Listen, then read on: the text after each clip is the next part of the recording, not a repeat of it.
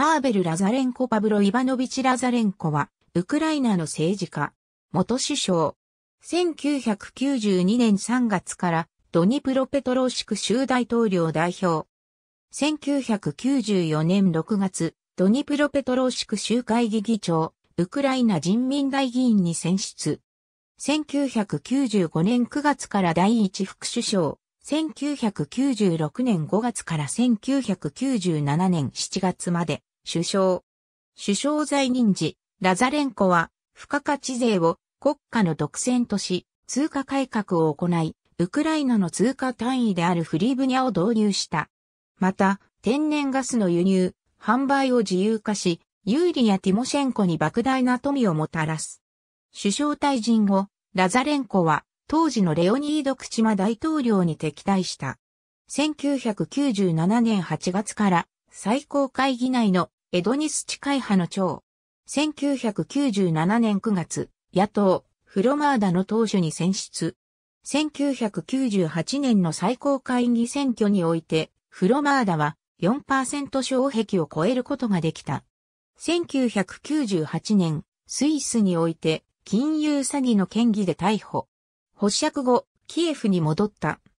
1999年2月9日、ウクライナ検察庁はラザレンコの不逮捕特権剥奪を最高会議に要求し、2月15日、彼は国外に逃れた。2月17日、最高会議はラザレンコの不逮捕特権剥奪を可決し、彼の逮捕に同意した。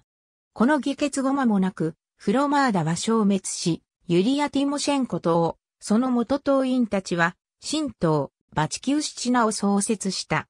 検察庁の報告書によれば、ラザレンコは、欧州諸国に450万スイスフランと200万米ドルの口座を不正に開設し、国家に200万ドル以上の損害を与えたという。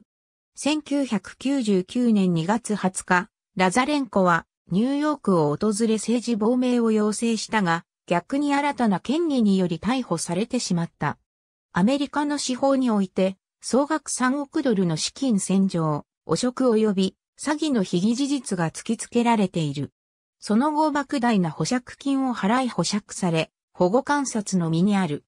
2006年8月25日にアメリカの裁判所は、恐喝、資金洗浄、汚職及び詐欺の罪で禁錮9年と罰金1000万ドルの判決を下した。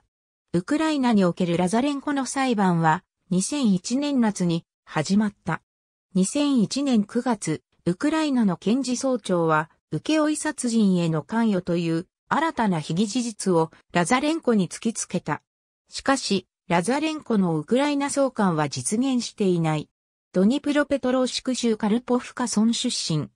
1978年、ドニプロペトローシク農業大学を卒業。経済科学博士。後藤ヤロスラフ健康勲章を受章。最大。一男二女を有する。ありがとうございます。